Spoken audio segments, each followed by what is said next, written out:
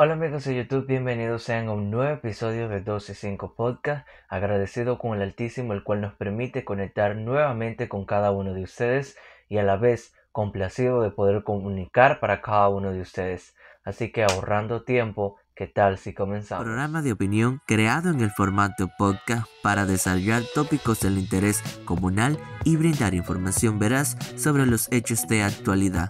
Esto es 12.5 Luego de haber dado nuestra entrada formal con ese leve error, perdón, a decirles que honestamente estoy feliz, contento de volver a, conectar eh, nuevamente a través de este espacio. Siempre es un placer compartir con ustedes, siempre es algo bonito eh, sostener un vínculo con cada uno de ustedes.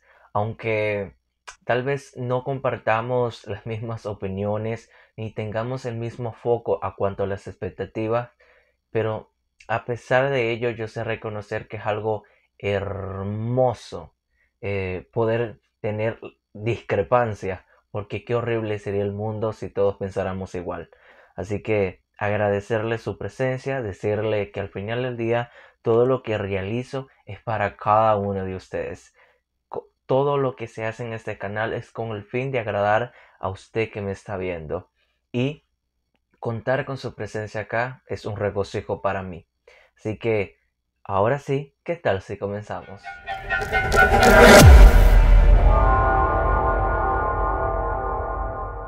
Sígueme en Instagram como GeoDavid25. El tópico de esta semana es en consecuencia a un debate que se estuvo desarrollando a través de la comunidad del canal y la pregunta que se sostiene a través del tema que vamos a desarrollar en esta, en esta ocasión es ¿qué vale más? ¿La fama, el talento o el dinero?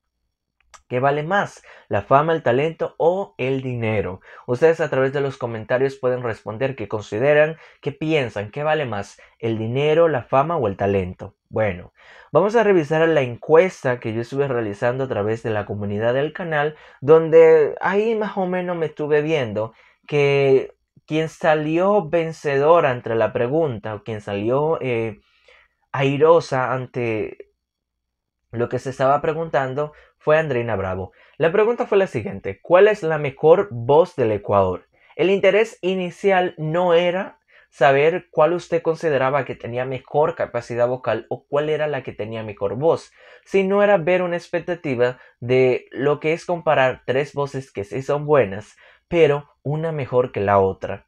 Hay que reconocer. Creo yo que si comparamos a la voz de Andreina Bravo ante la voz de Mar y Dayanara, nos queda de ver pero no deja de ser una buena artista. Jamás devaluaría eh, o desvirtuaría su trabajo. Jamás daría al menos lo que ella realiza como trabajo.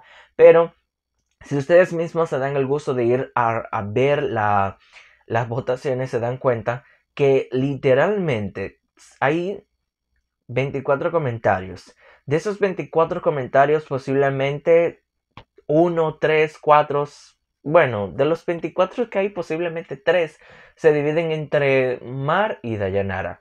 Lo que me da a entender que muchas veces no es necesario tener talento o tener, vamos a decir, grandes capacidades en el dote comunicativo o en el dote artístico, para ser más específico, para poder conectar con el público. Lo que me retoma yo decir que muchas veces hay figuras que están en los medios que no tienen talento que no tienen grandes capacidades, que sencillamente tienen algo que se llama carisma.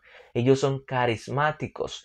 Han podido lograr algo que muchos talentos, ¿verdad? No han logrado, que es conectar con el público. Creo yo plenamente que vale más tener carisma que tener talento. Y a eso yo lo llamaría tener fama. A veces tener fama es más valioso que tener talento, aunque hay personas que han tenido la fama a través del talento. Eso no se desvirtúa.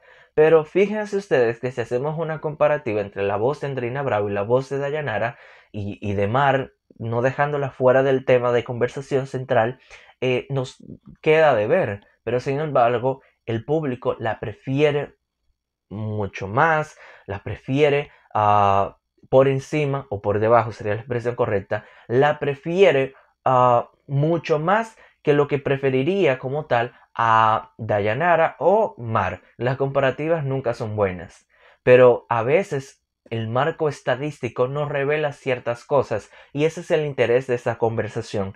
Para dirigir eh, la plática de hoy yo hice varias preguntas y son las siguientes. ¿Puede una persona posicionarse en los medios televisivos sin tener talento? Bajo mi percepción, sí. Tenemos mucho talento hueso. Yo no sabía que así era que se le llamaba a los talentos que son insípidos. Ah, bueno, ni talento le diría yo, sino a las figuras insípidas que no tienen talento y simplemente relucen por tener un buen físico, por tener un buen rostro, por haberse acostado con un productor, por... La prostitución en la televisión es algo que todos los días se desarrolla. Es un mal, verdaderamente lo es, pero tenemos que ser conscientes de ello, ¿verdad? Y, y es lamentable, es de decir, es lamentable, pero es una realidad. Entonces, tenemos a veces ciertas figuras en la televisión que no tienen talento, pero sí tienen carisma. Y muchas veces ni carisma tienen y simplemente son puestos porque, ay, porque él es el hijo de tal, porque él es amigo de tal perencejo, porque, porque él le agrada bien a Juan. No estoy diciendo que sueñe mejor. y otra pregunta es, ¿qué prefieres, fama, talento, dinero? Yo creo plenamente que el talento te puede posicionar para tú tener fama. O sea, a través del talento tú puedes obtener fama. Marico, una introducción horrible. Algunas figuras públicas no son figuras públicas eh, no porque tengan un talento, sino porque tienen dinero. dinero perdón.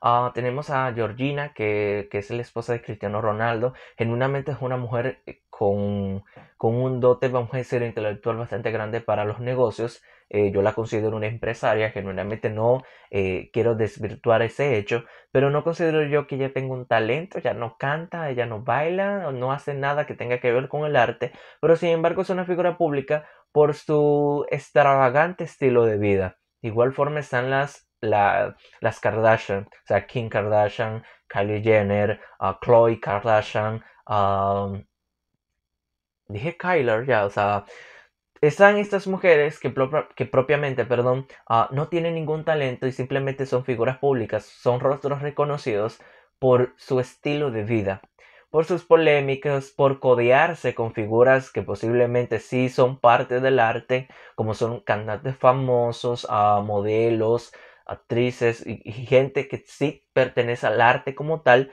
y no simplemente a hueso. Yo no sé si hueso se le aplica a la gente que no tiene talento, pero más vale a veces tener dinero porque a través del dinero uno puede obtener fama. Pero de igual forma el talento te puede ayudar a obtener fama. Tenemos a Juan Luis que tiene una voz y una composición en letra majestuosa y genuinamente le reconocemos es por su talento. Se da a conocer a través de su talento. Pero a diferencia de otras figuras que son simplemente figuras públicas porque tienen dinero. Eh, ¿Cuáles talentos consideras que no tienen talento y son hueso? Verga, eso no lo puse yo, solo puso la producción. Eh, no me llega ninguno a la mente. No es que estoy siendo mentiroso ni hipócrita, pero tampoco no tengo por qué guardarle saco a nadie. Pero siento yo como que hay personas, bueno, Natalie Cabajar no es buena para la comunicativa, pero yo tampoco no arremeto en contra de ella porque yo tampoco no considero que sea no, mejor dicho, no tengo calidad moral para poder hablar de ella. Necesito pulirme más para poder decir, tú no tienes tú esto, tú lo otro, porque a mí no me gusta hablar a través de la carencia. Yo creo plenamente que cuando señalizamos a otros, primero tenemos que vernos a nosotros, o sencillamente estaríamos siendo un espejo. Entonces, estaríamos hablando de las carencias que vemos en los demás, pero no estaremos viendo las propias. Entonces, no me gusta venir acá y sentarme y decir, no, porque Juan no tiene talento, porque yo sí tengo y tú, y tú te callas, y tú esto y tú lo otro. No me parece. Pero sí, sí sé que hay talentos en la televisión que de talento no tienen nada. Y bueno, celebridades que no tienen ni la una ni la otra, pero están. Ay Jesús, esto sí lo hice yo. Y comienzo con Natalie Cabajar. No tiene talento para la comunicación, pero sí es buena para generar contenido en los realities. sí tiene la virtud de adaptarse a las situaciones y hacernos parte de la supuesta situación que se esté viviendo en el reality donde participe. Genuinamente yo considero que como creadora de contenido es maravillosa, sí nos da como que este aire de vivir lo que está sucediendo al momento. Eh, nos da este sentir de conchale, o sea, mira, se insultan, ella la responde, como que te hace vivir el momento, tipo telenovela. O sea, que me da a entender que posiblemente como actriz sea excelente. Tal vez ella tenga estos dotes uh, de actuación que no se están explotando como debería de ser. Renier Izquierdo no tiene talento para comunicar, pero sí baila y es dado a ser un gran generador de contenido. Eso hay que reconocerlo. Yo considero que Dios nos ha dado virtudes, de igual forma tenemos defectos, los cuales Él mismo irá trabajando en su debido momento. Pero considero yo que hay cosas para las que uno es bueno y otras para las que no es tanto. Yo siento que a mí me va mucho mejor en la música que como me va en la comunicación. Como cantante full bien en comunicación, tengo carencias que debo eh, disluir, eh, tengo carencias que debo como bien eh, ir puliendo y ir saliendo de las mismas. Andreina Bravo es mejor cantando y bailando que propiamente comunicando. Y menciono a Renier Izquierdo y a Andreina Bravo porque en su momento pertenecieron al espacio matutino de Casa en Casa. Y siento yo que de una manera forzosa se le quiso integrar a, la dinámica de este programa cuando considero que ellos son dos personajes totalmente divorciados divorciado, perdón, y totalmente ajenos al concepto de lo que es un morning show. Morning, morning, good morning, morning show. Y, y genuinamente siento como que no encajaban, pero sí tienen dotes propiamente del baile eh, y del canto en el caso de Andreina. Para mí Andreina como cantante es excepcional. Eh, Dios la bendijo eh, con, este, con estos aires artísticos propiamente para el canto y para el baile. Aunque tal vez haya gente que diga, no me gusta, está bien, no todas las cosas tienen que gustarnos. A mí no todos los cantantes me gustan, a pesar de que posiblemente tenga millones de fanáticos. No me gustan. Andrés Salvatierra no es comediante, cero comediantes. Digo, cero comentarios. Juan del Valle sí tiene talento, pero no aprovechan su potencial al máximo. Virginia Limongi tiene mucho talento, pero siento que no, que no se aprovecha al máximo y no la comparen con Alejandra Jaramillo. Cada una tiene su esencia y cada una definirá su propio camino. Yo creo que eh, Virginia vino a hacer algo que Alejandra Jaramillo no vino a hacer. Cada una como que tiene su norte y creo que las comparativas a veces pueden hacer daño porque desvirtúan el trabajo que se está realizando cuando se pone en bandeja eh, de juicio, cuando se, arma un juicio en contra del trabajo que uno realiza. Yo creo que cada uno de nosotros tenemos eh, ese sentir individualista que es dado al ser humano. Entonces, por más que queramos imitar a alguien, por más que queramos ser igual a alguien, siempre va a siempre va a sobresalir ese, ese, ese, ese sentir de es que no eres, es que ese personaje no, no va contigo, es que tú eres tú y él es él. Tú eres ella y ella es ella.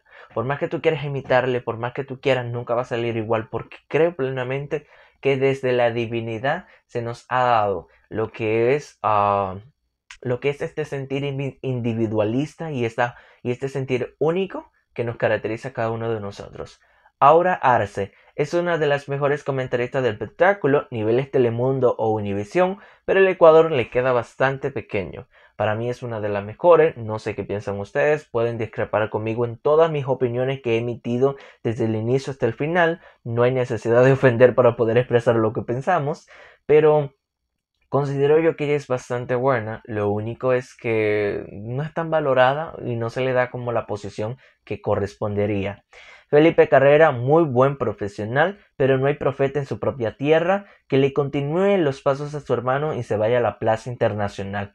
Mare Ceballos, tremenda actriz, pero a veces el espíritu de Carolina Jaume, de Carolina, perdón, de Carolina Jaume se apodera de ella. Para los inteligentes, pocas palabras.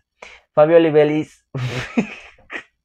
Fabiola Belis Belis, Belis, es correcto. Yo siento que lo escribieron mal. Es muy talentosa. o sea, no a mí no me escriben lo que yo digo, sino que me ayudaron a escribir unas cuantas. Creo que las, sí, creo que las dos últimas. Entonces, Fabiola es muy talentosa y me parece muy buena actriz, genuinamente. Y, ya, o sea, no hay que apedrar a la gente. Yo no entiendo por qué la gente siempre espera que yo critique de, de potrique. porque inocente, porque la gente siempre cree que yo voy a ser despectivo con todo, ¿no? A veces hay un momento dado en que uno debe lanzar flores. Yo siempre digo que la pelota se batea conforme a como venga.